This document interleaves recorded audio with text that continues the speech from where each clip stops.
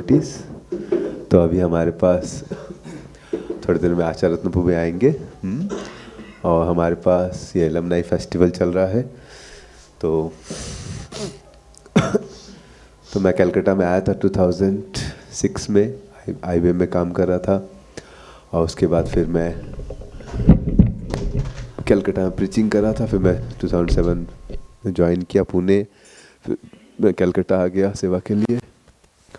तो first batch में जो प्रीचिंग करा था कलकत्ता में प्रीचिंग किया फिर थोड़ा दिन खड़गपुर में प्रीचिंग किया फिर थोड़ा दिन बेसू में प्रीचिंग किया फाइनली फिर 2000 I think ten I came to Haldia. तो हम लोग आज एलमनाई कैम्प कर रहे हैं एलमनाई फेस्टिवल तो वैसे तो हल्दिया के स्टूडेंट ज़्यादा यहाँ पर हैं बट मेरा सबसे पहला बैच जो मैंने प्रीच किया था वो हमारे दयालुपू थे। दयालुपू मिथुन पू हम्म, कल शिवात्मा पू आएँगे सुनील पू भी शायद आए।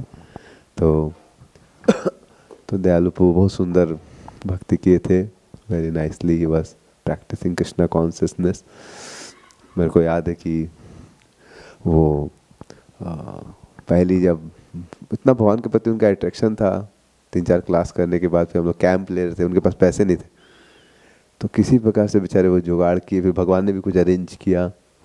मतलब और फिर धीरे धीरे वो ज्वाइन कर लिए और इतने सुंदर तरीके से मंदिर में सेवा की।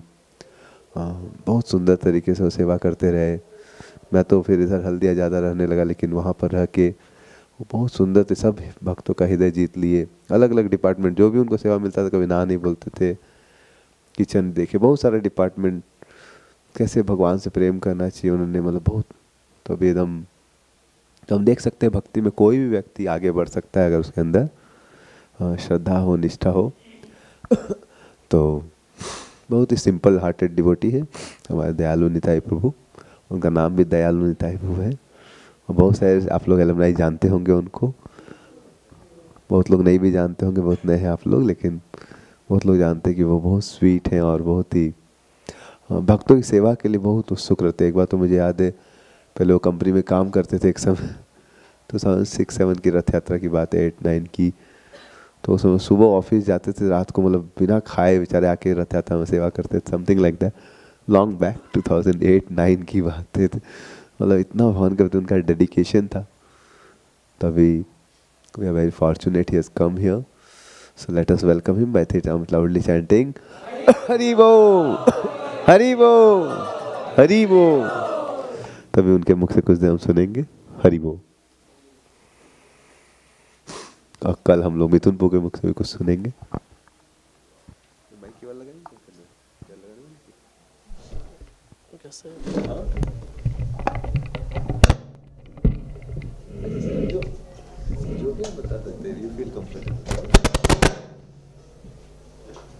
हरे कृष्ण।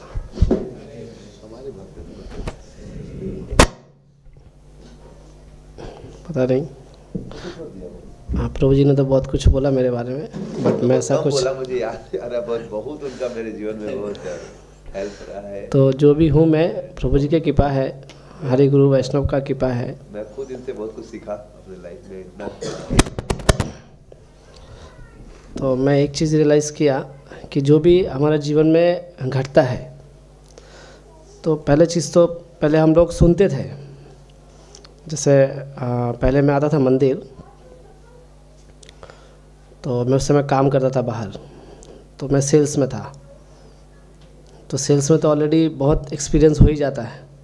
कस्टमर गाली देता है, दुकानदार गाली देता है, और उसके बाद घर में जाओ तो घर में भी तो सुनना ही पड़ता है। तो सब जगह से फीडबैक जिसको बोलते हैं फीडबैक तो फीडबैक हम लोग को मिलता ही है। वो जीवन में आपको क्या है, एक तरह से उसको आधार बना लेना पड़ेगा। फीडबैक को। लेकिन वो फीडबैक अगर आप सहन कर सकते तो बहुत अच्छा है। जो फीडबैक मिलता है, वो हमारे भले के लिए होता है। उस समय हम लोग को लगता है कि ये व्यक्ति क्यों हमको बोल रहा है? उस समय, बहुत समय कोई बोल देता है तो क्या होता है? गुस्सा आ जाता है। है ना? हम लोग गुस्सा हो जाते हैं ना? अरे, अभी क्यों बोल दिया? प्रसाद ले रहे हैं, उसी समय मान लो कुछ बोलते अरे, तुम ऐसा करता है, तुम ऐसा करता है। तो मैं एक जगह कोटेशन पढ़ रहा था कि प्रभुपाद जी बोल रहे थे कि कि अगर आपको कोई कुछ बोल रहा है, इसका मतलब आप ठीक है, ठीक स्तर पे है। अगर कोई कुछ नहीं बोल रहा आपका जीवन सटीक चल रहा है, आप सोच रहे कि सब कुछ आराम है मतलब आपका जीवन में गड़बड़ है। है ना? नहीं तो फिर भगवान बोले कि दुख आशा स्वतम है। तो फिर अगर आप सुखी रहेंगे, आपके जीवन में कुछ परेशानी नहीं रहेगा तो फिर भगवान को तो कथा असत्य हो जाएगा ना? है कि नहीं? हाँ? तो मैं जब मंदिर आता था तो उस समय तो आ, दस अपराध जो बोलते हैं ना दस अपराध तो दसवां नंबर अपराध जो है कि इतना कुछ करने के बाद सब कुछ समझने के बाद भी आप भौतिक आसक्ति बनाए हुए हैं। तो मैं जाता था और सोचता था कि मैं आ रहा हूँ मंदिर घर जा रहा हूँ। एक्चुअल में यहीं रहना है सब कुछ यही करना है। फिर भी हम क्यों कर रहे हैं? और आखिर ये जो जॉब हम कर रहे हैं, कितना दिन करेंगे? कितना दिन करेंगे? और इससे क्या लाभ मिल रहा है हमको? एंड ऑफ़ द डे तो कोई सेटिस्फेक्शन नहीं मिल रहा है। हम जो भी काम करते हैं, देखिए, एक चीज़ तो क्लियर है कि हमको जीवन में क्या बनना है। बहुत लोग का अलग अलग हो सकता है कि हमको इंजीनियर बनना डॉक्टर बनना, ये बनना है। लेकिन सबसे बड़ा चीज़ है कि एक्चुअल में वो सब बनने के बाद भी एक क्या ढूंढते हैं हम लोग? खुशी ढूंढते हैं ना? तब सबसे बड़ा उद्देश्य हम लोग का रहना चाहिए कि हम कैसे खुश रहें। और जिसको जिस चीज़ में खुशी मिलेगा, वही चीज़ करना चाहिए। हम लोग पढ़ाई करते हैं, कुछ भी करते हैं, लेकिन हम अगर end of the day satisfied नहीं है, वो चीज़ करके, और वो काम करके हो, चाहे वो पढ़ाई करके हो, कुछ भी करके एंड ऑफ़ द डे अगर हम सेटिस्फाइड नहीं हैं तो हमारा वो सारा चीज़ क्या है? समय वही केवलम। है ना? तो मैं देखा कि आखिर कैसे हुआ? पहले तो आ, मैं आता था और हमारा घर के पास ही वो जो पाक सर्कस मैदान है वो हमारे घर से पाँच मिनट का दूरी पे है। पाँच दस मिनट। तो मैं काम करके आता था और मेरे को खिचड़ी बहुत पसंद था। तो घर में खिचड़ी बनता तो नहीं खाता था लेकिन कोई जो प्रसाद होता है, वो खिचड़ी मेरे को बहुत अच्छा लगता है। तो उधर जाके मैं रोज़ खाता था और पहले काउंटर बहुत लगता था, ज़्यादा दस पंद्रह काउंटर लगता था खिचड़ी का। तो हर काउंटर में एक एक बार जाके लिया था। तो पेट भर गया रथ यात्रा। तो हो गया। अभी देखिए, भगवान आपको कुछ दे रहे हैं ना तो सूद समेत वापस लेते हैं। अब ये मत सोचिए कि प्रसाद खा रहे हैं। तो भी भगवान के इन्वेस्टमेंट है। आपसे सोच समझ लेंगे। तो उसका परिणाम। तो तो हम खा रहे रोज़ रोज़।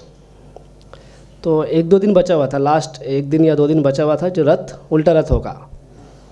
तो मैं बोला कि हर दिन तो प्रसाद खा रहा हूँ, लेकिन इतना सारा जो लगा हुआ मैं तो कभी घूमा नहीं। तो थोड़ा घूम लेता हूँ। तो घूमते घूमते अलग अलग स्टॉल में गया। तो एक जगह देखा। हु एम आई एक क्वेश्चन लिखा हुआ था हु एम आई तो वो देख के मैं घुस गया उसमें। और वहाँ पे घुसा तो आज तक।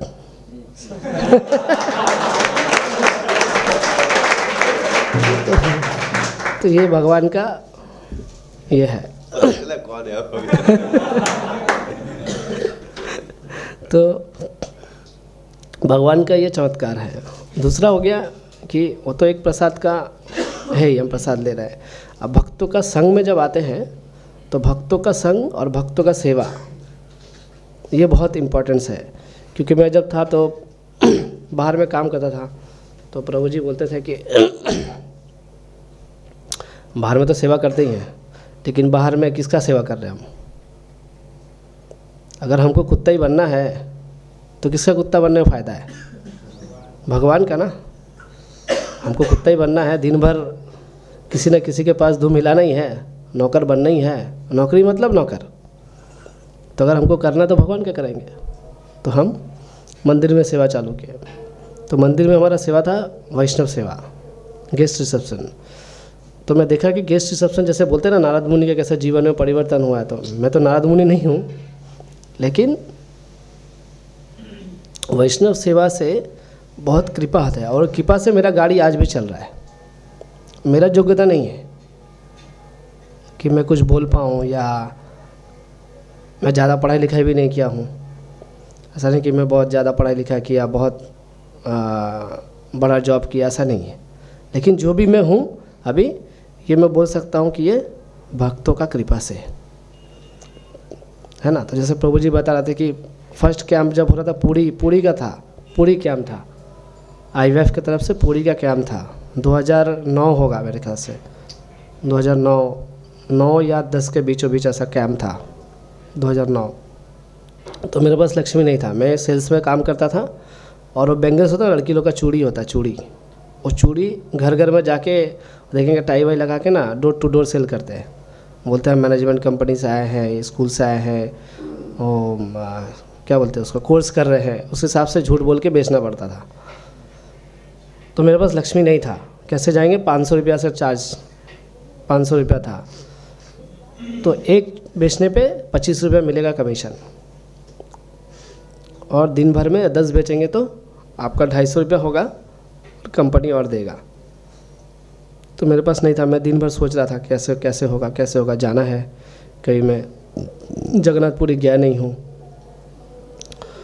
तो दिन भर में जगन्नाथ जगन्नाथ जगन्नाथ सोच रहा था। और अलग अलग जगह में गया, दरवाज़ा ठक ठक किया, सब कुछ किया, कुछ नहीं हुआ। शाम हो गया। अब निराश होकर मैं वापस आ रहा हूँ कि हे जगन्नाथ, कुछ तो हुआ भी नहीं, पैसा भी नहीं है, कैसे जाऊँगा? कैसे जाऊँगा? तो शाम को मेरे पास जस्ट मैं अभी मार्केट से निकलने वाला हूँ। अब बस पकड़ के अब निराश होकर जा रहा हूँ। क्या पता नहीं क्या होगा, कैसे जाऊँगा? अब मार्केट छोड़ के मैं निकल रहा हूँ ऑफ़िस के लिए कि जाके जमा दे के घर चला जाऊँगा। तो उस समय एक फ़ोन आता है एक माता जी का कि आपने जो दिया था एक दिन हमको और चाहिए बहुत अच्छा है। तो उसके पास गया आप देखो उसका क्या साइज़ होगा नहीं होगा वो तो हमको भी पता नहीं। मेरा स्टॉक में जितना था सबका सब खाली हो गया। एक ही घर में ले लिया सब। और एग्जैक्ट वो दस बारह पीस था मेरे पास सब ले लिया उधर ऑफ़िस में गया जमा दिया एग्जैक्ट पाँच सौ रुपया। तो इससे जगन्नाथपुरी चला गया। हो गया तो ऐसा है। और भक्तों का जीवन में कैसा ये होता है, लेकिन इंडिपेंडेंट नहीं रहना चाहिए। स्वभाव रहता है हम लोग के अंदर, लेकिन इंडिपेंडेंट हम कुछ भी करेंगे तो प्रॉब्लम हमारा जीवन में। किसी के अंडर में निर्देश के अनुसार ही आपको काम करना है, कोई भी हो। कोई एक गाइड के रूप में रहना चाहिए। नहीं तो हम अकेले में वो बोलते हैं ना एकांतिक हरिर भक्ति उत्पाते व कल्पते। अकेले कुछ भी करेंगे तो उत्पात छोड़ के कुछ नहीं करेंगे, क्योंकि हमारा दिमाग तो उतना शुद्ध भक्ति नहीं है ना, कि अच्छा काम करेगा। थोड़ा सा खाली जगह पे कोने में चले जाएँगे तो दिमाग में क्या क्या चिंता आएगा, वो पता चलेगा कितना भक्ति किया हम, कितना जप किए हैं। है ना? तो उत्पाद छोड़ के कुछ नहीं होने वाला। तो इसीलिए हमको कुछ भी कर रहे हैं, हम अपने जीवन में हमको क्या करना है कि किसी के आदेश अनुसार निर्देश अनुसार किसी के गाइडेंस में रह के करना है। कोई भी हो सकता है, छोटा हो सकता है, बड़ा हो सकता है, अपने दोस्त हो सकता है, और अपने भक्ति जीवन में कोई एक अच्छा फ्रेंड होना चाहिए आपका, जिसके साथ आप, क्योंकि अभी के अभी के समय में सबसे बड़ा प्रॉब्लम है रिलेशनशिप फ्रेंडशिप रिलेशनशिप दोनों प्रॉब्लम है, चाहे वो हस्बैंड वाइफ हो, भाई हो, है ना? कोई भी हो। सबसे बड़ा प्रॉब्लम अभी क्या है? रिलेशनशिप का। तो हम, हमारे जीवन में कोई भी एक ऐसा व्यक्ति होना चाहिए जिसके साथ हम ओपन हार्टेड पूरा मतलब दिल खोल के बोल सकते हैं। कुछ भी हो अच्छा काम किया, बुरा काम किया, कुछ भी किया, कुछ छुपाना नहीं है। मतलब पूरा ब्लैंक रहना चाहिए, उसके सामने एटलीस्ट हाँ उस पर निर्भर करता है कि भाई वो कैसा है, उतना ट्रस्ट होना चाहिए आपको, विश्वास होना चाहिए। बहुत समय ऐसा नहीं कि हम सबको सब कुछ बोलते चले गए। और वो आपको मज़ाक उड़ा रहा है या फिर आपको, क्या बोलते हैं शोषण कर रहा है, ऐसा नहीं होना चाहिए। तो दोस्ती उस हिसाब से होना चाहिए एटलीस्ट तो उससे क्या होगा कि हमारे अंदर में बहुत समय क्या होता है, हम जब शेयर नहीं करते हैं तो हमारे अंदर में एक गुस्सा वाला चीज़ होता है। जब बम बनते रहता है, बनते रहता है, और कोई कुछ बोल दिया, उसी के ऊपर पूरा गुस्सा निकाल दिए। अब वो बेचारा सोचेगा, भाई, हम तो उसको अच्छा बात बोला, मेरे को क्यों ऐसा चाह मैं तो उसको भला के लिए बोला। लेकिन आखिर मेरे ऊपर गुस्सा क्यों हो गया? क्यों गुस्सा उसको अंदर अंदर में है। बहुत दिनों से जम रहा है। जमते जमते जमते उस दिन भड़ास करके फट गया। है ना? तो ऐसा एक दोस्त होना चाहिए। ये सब चीज़ मैं थोड़ा भक्तों के संग में रह के सीखा। तो वो एक था। और दूसरा आ, क्या हुआ कि जैसे भक्त लोग कभी कभी बोलते हैं ना कि मरते वक्त जल्दी इतना आसान नहीं है कि हमको भगवान का नाम याद आएगा। तो मैं रियलाइजेशन कब किया कि मैं उस समय टाटा में काम करता था। टाटा फोटोन प्लस का नाम सुना होगा ना आपने? तो 2010 से ग्यारह का बात है। तो काम कर रहा था। तो सुभाष ग्राम बोल के एक स्टेशन है उधर। तो मैं वहाँ एक कनेक्शन करने के लिए जा रहा था। कनेक्शन देने के लिए डोंगेल तो देने जाता तो ट्रेन जो है पहले दस बोगी का था। बाद में बारह बोगी बना। तो उस समय दस बोगी का ट्रेन था, स्टेशन बढ़ गया। और ट्रेन में मैं था। तो हॉकर वाला बोगी होता ना एक ठो तो उधर उधर में उठ गया जल्दबाजी में, उठ गया। अब उतरते वक्त सामने में कोई तो मांस वास लेके उठ गया। अब मैं तो छोड़ दिया था। तो क्या हुआ कि अब उतर नहीं पाऊँगा। इतना गंदा आ रहा है इतना स्मेल आ रहा है और साइड भी नहीं हो पा रहा हूँ। तो क्या हुआ कि अचानक से और मैं नरसिंह आरती सुन रहा था हेडफोन से। तो जब ट्रेन रुका, होता ना, पूरा लग रहा है कि ट्रेन एकदम स्लो हो गया, रोक देगा। एकदम ट्रेन जैसे लग रहा है कि रोक देगा। तो मैं पैर नीचे बढ़ाया और ट्रेन रुका नहीं। यहाँ से लेकर कम से कम गेट का वो बिल्डिंग तक उतना दूर गया, मेरा जूता खुल गया और संभव अदर मेरा हाथ खाली छूटा नहीं। और मैं नरसिंह देव का आरती सुन रहा था बोल के, मैं बच गया। और उस समय से मेरे को, सही में मेरे को रिलेशन हुआ कि भाई सही में जो आदमी का डेथ होता है तो भगवान का नाम इतना आसान नहीं है जो आ जाएगा। क्योंकि उस दिन मैं चला जाता, लेकिन नरसिंह आरती सुन रहा था बोल के, तब से मैं पहला काम क्या किया, मैं मायापुर से नरसिंह कवच मंगाया और पहना। सबसे पहला काम किया। और मेरे को ये समझ में आ गया और उस दिन से थोड़ा सीरियस हो गया। पहले तो प्रभु जी लोग बोलते थे कि थोड़ा जब करो, थोड़ा ये करो, ज़्यादा।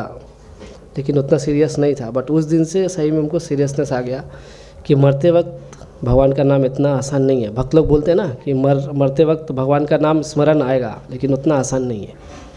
अगर हम अच्छा से प्रैक्टिस नहीं करेंगे तो भगवान का नाम स्मरण नहीं आएगा। अभी जैसे हम लोग को कहीं भी चोट लगता है, कुछ भी लगता है तो भक्तों के संग में रहते हैं। आज ही कौन गया था? अमन प्रभु गया था ना हमारे साथ। तो बोल रहे थे कि भक्तों के साथ में तो हरे कृष्णा, कुछ भी होता है तो हरे कृष्णा याद आ जाता है। लेकिन बाहर में रहते तो क्या याद आता है? निकलता है। तो ये भक्तों का संघ का प्रभाव है। अब भरत महाराज के जीवन में भक्त कोई नहीं थे, बोलने वाला प्रभु जी, आप जब में सो रहे हैं। अब जब अच्छा से नहीं कर रहे हैं। तो इसलिए उनको दूसरा जन्म क्या मिला? हिरन, क्योंकि वो हिरन में आसक्त हो गए। है ना? लेकिन प्रभुपात की कृपा से हम लोग फॉर्चुनेट हैं कि हमारे जीवन में भक्तों का संग है। प्रभुपात ने अलग अलग जगह पे सेंटर खोला है, मंदिर खोला है, जहाँ भक्त अवेलेबल है। भक्त लोग अवेलेबल है। लेकिन हमको ये नहीं सोचना चाहिए कि ये भक्त चलता है आपस में थोड़ा यार की मज़ाक, है ना? चलता है। सीरियस नहीं लेना ज़्यादा।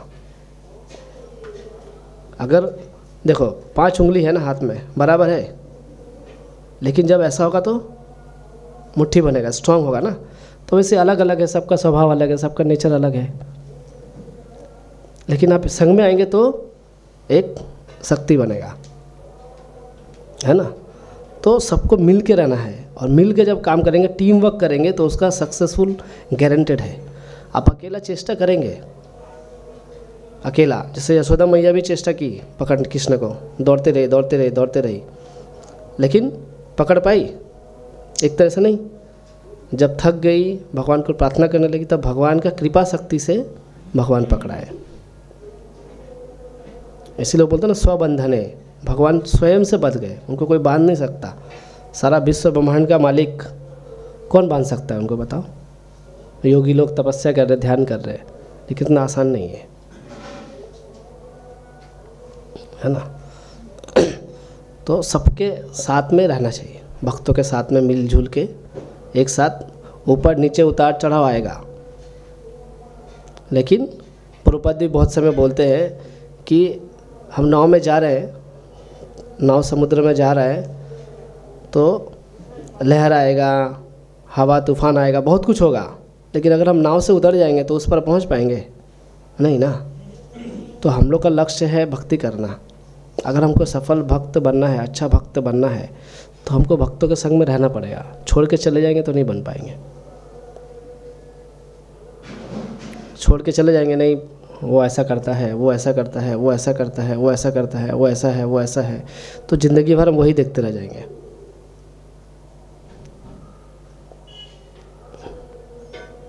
सबके अंदर बुराई है, लेकिन जो जैसा है, वो वैसा ही देखता है। हमारे अंदर आप आप देखो, आप टास्क करो कि किसी भक्त जो आपका प्रिय है, आप उसका कॉपी में नाम लिखो, है ना? और जिससे आप झगड़ा करते हैं, मान लो, आप उसको पसंद नहीं करते हैं उसका नाम लिखो एक जगह पे। और दोनों का एक, उनका अच्छा ही निकालो, उसका बुरा ही निकालो। और आप मैच करो कि आपके अंदर वो है कि नहीं। आप मैच करो। देखेंगे कि नाइन्टी नाइन परसेंट हमारे अंदर जो है वही चीज़ हम दोनों के अंदर देख रहे हैं नाइन्टी नाइन परसेंट एक परसेंट इधर उधर हो सकता है। बट नाइन्टी नाइन परसेंट हमारे अंदर जैसा गुण है, वही हम देखते हैं सबके अंदर। अगर हम अच्छा रहेंगे, हम सरल रहेंगे तो हम भी सबको सरल सोचेंगे। हम कॉम्प्लिकेटेड रहेंगे, जिलेबी तो हम भी सबको जिलेबी के जैसा ही सोचेंगे। कि सबका मन वैसा ही है। है ना? तो डायमंड डायमंड के साथ रहता है, घिसता है तो ही चमकता है। तो जो भी भक्त हम लोग हैं, हम हम भक्ति में प्रगति तभी करेंगे जब भक्तों के साथ में रहेंगे। तो वो हमारा शुद्धिकरण है। हमारा प्योरिफिकेशन है। कोई हमको कुछ बोल रहा है फीडबैक दे रहा है, वो हमारा प्योरिफिकेशन है। अभी हम किचन में हैं। तो हमको हम किचन स्टाफ को बोलते हैं, आप ऐसा किए, वैसा किए। तो हम अकेला बोल रहे हैं। और अब जब ब्रह्मचारी आश्रम में जाते हैं तो चालीस ब्रह्मचारी, चालीस फीडबैक मिलता है। समझ गए ना? तो हम अगर फीडबैक सुन के बोलेंगे, नहीं, हम सेवा छोड़ देंगे।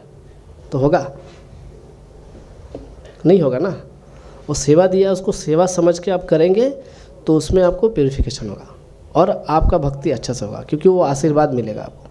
और जो दायित्व आपको दिया है, भक्तों ने वो भी आपके लिए कृपा है, आशीर्वाद है। जो सेवा आपको अच्छा लग रहा है, वही करेंगे तो उसमें आपको शुद्धिकरण ज़्यादा नहीं होगा प्योरिफिकेशन नहीं होगा। आपका विरुद्ध में, मान लो आपको लिखने में अच्छा लगता है, आपको पढ़ने बोल दिया जाए, आपको पढ़ने में अच्छा नहीं लगता है, तभी आपका शुद्धिकरण होगा। लेकिन जिसका जैसा स्वभाव है, उसके हिसाब से उसको सेवा मिलेगा तो वो सेवा में आगे बढ़ता रहेगा। है ना? मैं तो मेरा क्या योग्यता है? मैं कभी कुकिंग किया नहीं। कोई सिखाया नहीं, कोई मैनेजमेंट स्कूल में गया नहीं किचन इंचार्ज प्रभुपात का कृपा है। तो मैं गाता हूँ, उसका कॉपी पेस्ट मेरा आपकी कृपा से तो मैं बोलता हूँ प्रभुपात की कृपा से सारा काम हो रहा है। करता नहीं मैं कुछ भी, बस मेरा नाम हो रहा है। सब प्रभुपात जी का कृपा है। अगर आप सोचो कि अगर प्रभुपाद जी नहीं रहते, तभी हम लोग कहाँ रहते? आप सोचो खाली, एक जस्ट सोचिए पाँच मिनट के लिए कि अगर प्रभुपाद जी नहीं होते नहीं होते, इस्कॉन सेंटर नहीं बनाए होते तो ये वॉइस मंदिर, भक्त कहाँ रहते? हम लोग का जीवन क्या होता? आप कभी सोचा था हम लोग हम लोग का हेयर स्टाइल ऐसा होगा? कभी कोई सोचा था? नहीं सोचा था ना? तो ये सब प्रोपा जी का कृपा है। और उनका प्योरिटी है। आज हम लोग अलग अलग जगह पे जाते हैं। ये बड़े नेता, इन्होंने ये किया ये किया, वो किया। सबसे बड़ा अगर कोई व्यक्ति ने कुछ काम किया है, वो प्रभुपाद जी ने किया। हम तो बोलते हैं कि बंगाल में एटलीस्ट बहुत लोग अलग अलग लोगों का नाम बोलते हैं। इन्होंने ये किया, वो किया वो किया। हृदय परिवर्तन कितना लोगों ने किया। प्रभुपाद का किताब पढ़ के हृदय परिवर्तन हुआ है, सब लोगों का, जिसका एग्ज़ाम्पल अभी देखो। है ना? इधर कोई है जो किताब नहीं पढ़ा है या ऐसे ही आ गया है, बिना कुछ बुलाए आ गया है, ऐसा नहीं है ना? तो यही सब है, और भी बहुत कुछ है, बाद में बताएँगे। इतना बोल के मैं आज की कथा विराम देता हूँ। हरे कृष्णा।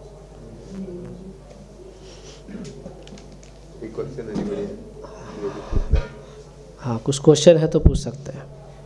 तो जी ने बहुत सॉलिड भक्ति किया एकदम समझ रहे बहुत इनोसेंटली भक्ति किया एकदम ब्रह्मचारी आश्रम में रहना इतना आसान नहीं एकदम बोले ब्रो। मैंने इनको कष्ट तो शुरू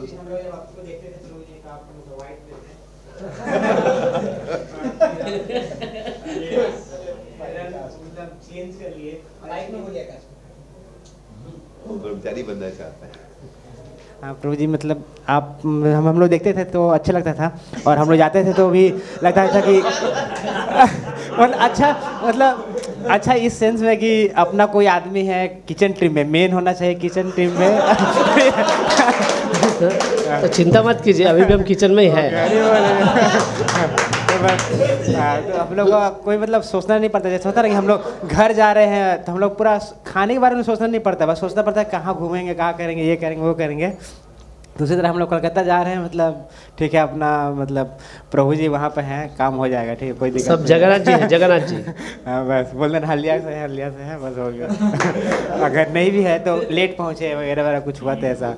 तो ये वाला था। और प्लस हम लोग देखते थे कि जैसे और भी लोग किचन में हैं किचन डिपार्टमेंट में तो और मतलब यहाँ तो इतना हम लोग डिफ़िकल्टीज देख रहे हैं कि जो किचन डिपार्ट मतलब मिल गया उसको तो दौड़ते रह गए इधर से उधर। कुछ ना कुछ जैसे आज ब्रेड घट गया। अब बताइए अब दो घंटा के अंदर ब्रेड लाना था हम लोग ये करिए फ़ोन करिए फिर सब बंद रहेगा मॉल तब ढूंढिए साइकिल लेके कहाँ ब्रेड मिलेगा भाई। ऐसा तो, तो बहुत डिफ़िकल्ट होता है। तो आप वो सेवा कर रहे हैं तो फिर भी आप मतलब वाइट से ये वाला इसमें आए और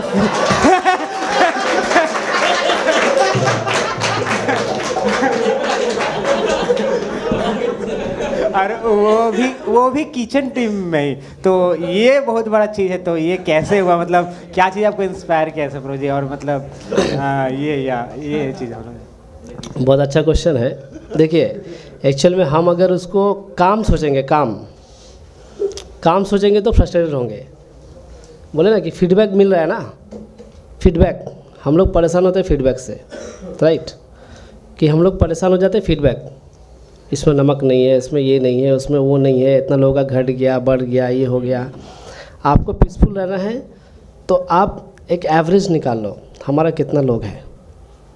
देश काल पात्र, जिसको बोलते हैं देश काल पात्र के अनुसार आपको चलना पड़ेगा।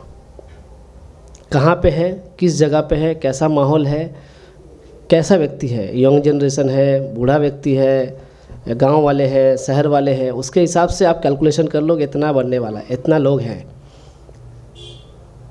मैं कभी ये सब मैनेजमेंट सीखा नहीं, कोई स्कूल में नहीं गया, कोई कॉलेज में नहीं गया। बस भक्तों का कृपा से भगवान ने इंस्पायर किया। तो मैं ऐसे ही करता हूँ कि देखता हूँ कि कैसे लोग हैं खाने वाले। ऐसे प्रोग्राम प्रसाद बना के भेजते हैं ना। प्रभु जी, तीस लोगों का प्रसाद चाहिए, ठीक है। तो तीस लोग बोला, हम पाँच लोग का एक्स्ट्रा दे दिया। कभी आपके पास फ़ोन नहीं आएगा। फ़ोन आएगा? हम लोग क्या सोचते हैं? तीस लोग का प्रसाद बोला है हम पच्चीस लोग का देंगे, तीस लोग का तो हो ही जाएगा। तो गड़बड़ होता है। जनरली ऐसा ही होता है। क्या होता है कि हम लोग तो जानते हैं कि पच्चीस लोग का प्रसाद लेंगे, तीस लोग एडजस्ट हो जाएगा। अब तीस का तीस लोग आ गया तो क्या होगा? एडजस्ट हो जाएगा, लेकिन खाने वाले लोग, अब मान लो फ़र्स्ट सर्विंग के हिसाब से आप दे रहे हैं कि सब कोई 400 ग्राम करके चावल खाएगा राइस खाएगा। अब वहाँ पे खाने वाले लोग थोड़ा ज़्यादा ही खाने वाले लोग हैं तो क्या होगा? फंसेंगे ना आप? तो हमेशा क्वांटिटी आपको थोड़ा बढ़ा के कर देना है। एक रोटी कोई बोल रहा है आपको तो आप उसके लिए तीन से चार रोटी पकड़ लीजिए। बचा रहेगा तो आपको प्रॉब्लम नहीं है। आप बांट दीजिए उसको। जो भी बचता है, हम क्या करते हैं? खिचड़ी बना के शाम को दे देते हैं। आपको खाली देखना है इवनिंग में। हम किचन में एक ही चीज़ करते हैं कि इवनिंग में थोड़ा मैनेजमेंट जैसा करते हैं कि प्रसाद वेस्टेज ना हो रात को, क्योंकि रात का प्रसाद फिर हम किसी को दे नहीं पाएँगे। सुबह ज़्यादा बनाओ, दोपहर में ज़्यादा बनाओ। बच गया, शाम को सब खिचड़ी बन गया। समझ गए? और वाइट से रहा सवाल, वाइट से लाल में तो ये भक्तों का आशीर्वाद है। मोर यू सर्व भक्त, आपको ज़्यादा से ज़्यादा रिस्पॉन्सिबल बनना पड़ा। जितना आप भक्ति में प्रगति करेंगे, उतना आपका रिस्पॉन्सिबिलिटी बढ़ेगा और रिस्पॉन्सिबिलिटी लेना पड़ेगा। जैसे घर में होता है, मान लो कोई व्यक्ति स्टूडेंट है तो उस समय उसका एक ही ज़िम्मेदारी रहता है, क्या? पढ़ाई करे अच्छा से। जब वो और फादर आगे करता है, काम करता है, उसका ज़िम्मेदारी बढ़ जाता है। बढ़ता है ना, फिर शादी करता है और ज़िम्मेदारी बढ़ जाता है। बच्चा होता है और ज़िम्मेदारी बढ़ता है। तो जितना आप सीनियर होंगे, जितना आप आगे बढ़ेंगे, उतना आपका ज़िम्मेदारी बढ़ना चाहिए। ऐसा नहीं कि ज़िम्मेदारी घटता रहेगा। और कपड़ा से कोई फ़र्क नहीं पड़ता। आप वाइट में रहो सैफरन में रहो, ग्रस्त रहो, ब्रह्मचारी रहो, कोई फ़र्क नहीं पड़ता। भक्ति विनोद ठाकुर बोलते गृह था को बोने था को सादा हरी बोले डाको। ये इंपॉर्टेंट है। भक्ति करना इंपॉर्टेंट है। अब कलर पे मत जाओ। भक्ति कर, करते रहो, ये सबसे इम्पोर्टेंट चीज़ है। टिके रहो। Test match. भक्ति ना टेस्ट मैच है। वनडे मैच नहीं है। अब आए, दिखाए, सोलह माला, बत्तीस माला, चौंसठ माला जब किए, एक महीने के बाद गायब हो गए। ऐसा नहीं है। टेस्ट मैच की तरह खेलना है। टिके रहना फ़ील्ड में नॉट आउट वनडे मैच खेलने जाएँगे तो हरे कृष्ण हो जाए। पोपत के समय में भी एक भक्त थे प्रभुपद बोले थे कि एक कोटि नाम जप कर लेगा कोई तो उसका जीवन सफल हो जाएगा. तो रोज़ बत्तीस माला, सोलह माला आया, सोलह माला, बत्तीस माला, चौंसठ माला, ऐसा करके बहुत माला करने लगा। एक महीने के बाद गायब हो गया। फिर कुछ दिन के बाद पता चला पोपा जी जा रहे थे तो देखे कोई पेट्रोल पंप में वो काम कर रहा है। तो उससे पूछा रहे तुम इधर क्या कर रहा है? बोला पोपत हम एक कोटी नाम जब हमारा कोटा पूरा हो गया। ऐसा नहीं समझ गए? तो ऐसा है। तो एंग्जाइटी फ्री रहना है तो आप उसको सेवा समझिए। हम लोग काम सोचते हैं, मेरा काम है, आठ घंटा काम करेंगे किचन में गए, देख लिए, ये क्या क्या है, नहीं है नहीं है, हो गया। आप अगर सेवा के मनोवृत्ति से करेंगे तो भगवान आपको आइडिया देंगे। आप सोचेंगे अगर कि आखिर मेरे साथ ऐसा क्यों हो रहा है? आप कि हम ये जो सेवा कर रहे हैं, हम तो कहीं फॉल्ट नहीं कर रहे। मेरे तरफ़ से तो कुछ भूल नहीं कर रहे हम। हम तो यही सोच रहे कि भक्तों को, सब भक्तों को प्रसाद मिले। हाँ सब भक्तों को प्रसाद मिले, सबको सफिशिएंट प्रसाद मिले। प्रभुपाद ने बोला है, कभी किसी को प्रसाद कम नहीं पड़ना चाहिए। पोपात का फॉर्मूला लेटर है मेरे पास। सारा किचन इंचार्ज को, सारा टेंपल प्रेसिडेंट को पोपात ने लेटर लिखा है। लेटर और लेटर में क्या लिखा है कि आपके पास तीन कुक होना चाहिए। तीन कुक होना चाहिए। तीन कुक और जो भी विजिटर आते हैं, उसको गरम गरम प्रसाद मिलना चाहिए। तो हम भी अप्लाई नहीं किए हैं, कोशिश की है। बहुत प्रैक्टिकली में नहीं होता है, लेकिन एटलीस्ट तीन कुक हमारे पास भी तीन कुक है। और गरम गरम नहीं दे सकते एटलीस्ट प्रसाद जब भी आए तो उसको मिलना चाहिए, मंदिर में। पोपत का फॉर्मूला गरम गरम पूड़ी, बेगुन बेगुन भाजा, सब, हलवा। या पूड़ी, सब्ज़ी, हलवा। गरम गरम। बोलते थे, बीस लोगों का बनाइए। आपको लग रहा है कि बीस लोग ख़त्म होने वाला है, चार पाँच लोग का बचा, फिर बीस लोग का बना के रखिए। आप किचन में जाएँगे कलकत्ता का तो हम उधर लगा के रखे हैं। क्या बोलते हैं उसको? फ्लेक्स लगा के रखे हैं। 1971 में प्रोपाद ने लेटर लिखा है कि जो गेस्ट आते हैं वो गेस्ट को अगर आप खुश करते हैं तो दोनों चीज़ होगा। एक तो गेस्ट खुश होंगे तो आपको आशीर्वाद देंगे। और प्रसाद वाला जगह एक ऐसा है अभिशाप भी मिलेगा, आशीर्वाद भी मिलेगा। अगर भक्त को खिला के खुश रखेंगे तो आपका जीवन एकदम धनाधन चलेगा। सब जगह से धनाधन। और अगर गड़बड़ होगा तो फिर वैसे कर्ज लगेगा। तो आप बैकवर्ड होते रहेंगे। तो वो मनोवृत्ति वो रहना चाहिए कि हमको क्या करना है, भक्तों को खुश करना है। कैसे खुश करना है?